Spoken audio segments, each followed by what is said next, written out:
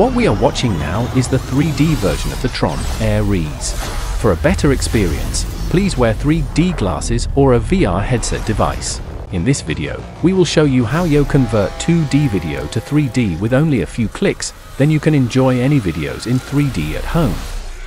Definitely, yes. First, you need to download HitPaw Univd, which offers a great way to convert ordinary 2D videos into 3D movies, and now this feature is temporarily free, so make sure to take advantage of it and give it a try.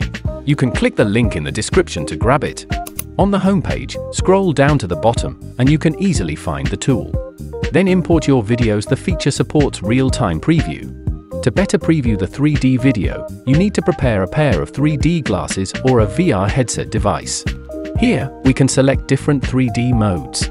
The software provides various color patterns for different purposes. We can also choose side-by-side -side mode or top and bottom mode.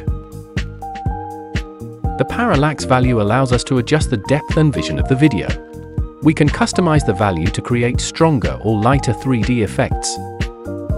After adjusting the parameters, we can select the video format. MP4 would be an ideal format. Then click Export to save the video.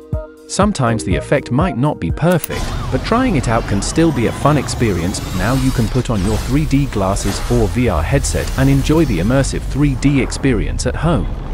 Thanks for watching. Don't forget to like and subscribe to our channel for more videos like this. Hope you enjoy it. Stay tuned and see you next time.